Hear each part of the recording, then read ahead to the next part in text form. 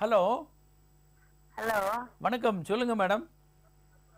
எங்க வீட்டுக்காரருக்கு வந்து அந்த ஆணவஸ் வந்து எந்திரிக்க மாட்டேங்குது சார். அதைத்தான் சொல்லுங்க. அதை அது சொல்றதுக்கா இவ்வளவு நேரம்?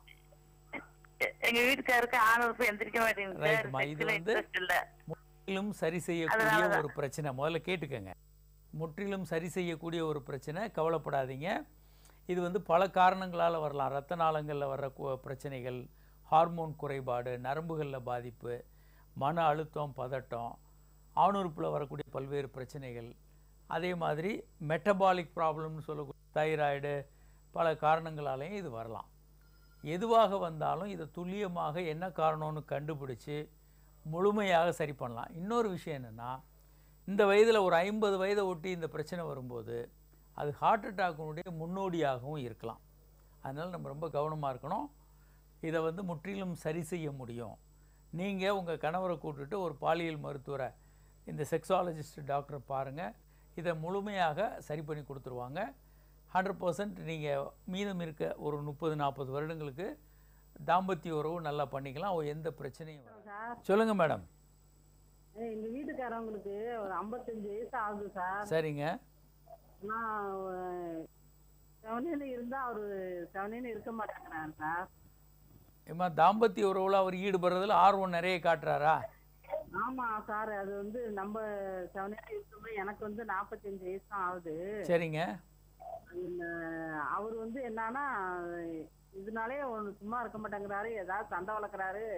அதனால வீட்டுக்கு எதுவுமே பொருள் வாங்கிட்டு கொடுக்க மாட்டேங்கிறாரு.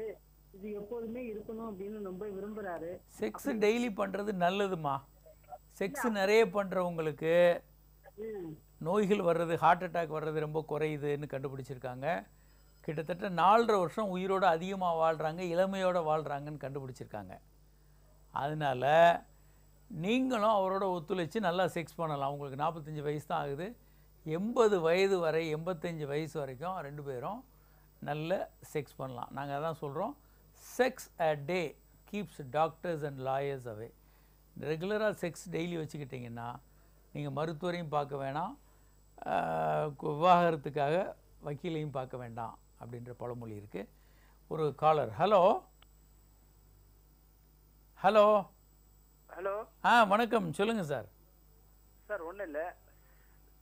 சொல்லுங்கள் என்ன பிரச்சனைன்னு சொல்லுங்கள் எங்கேருந்து பேசுகிறீங்க நாங்கள் பெங்களூர்னது சொல்லுங்கள் சார். என்ன கேள்வி உங்களுக்கு? நம்மளுக்கு ஒன்றும் இல்லை. நம்மளுக்கு உடம்பு உடம்பு நரம்பு வீக்கா இல்லான்னு தெரியல. நம்மளுக்கு இது இருக்கு. சொல்லுங்கள் சார் என் நீங்கள் இன்னும் சரியாக பிரச்சனையை சொல்லலை. எது இருக்குங்க? ஹலோ? என்ன பிரச்சனை இருக்குன்னு கொஞ்சம் தெளிவாக பேசுங்க.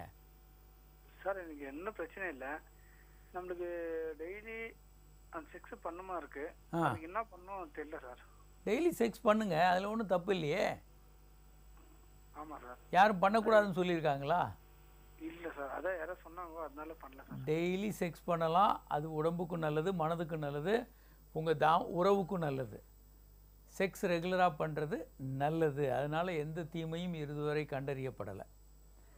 ப்ராஸ்டேட் கேன்சர் வர்றது குறையுது. தற்கொலை எண்ணங்கள் குறையுது. செக்ஸ் பண்ணும்போது மனம் நல்ல ஹார்மோன்கள் மூளையிலேருந்து வருது. அதனால் மனமும் உடலும் ஆரோக்கியமாக இருக்குது மன மகிழ்ச்சி இருக்குது உடலும் இளமையோடு இருக்குன்னு கண்டுபிடிச்சிருக்காங்க.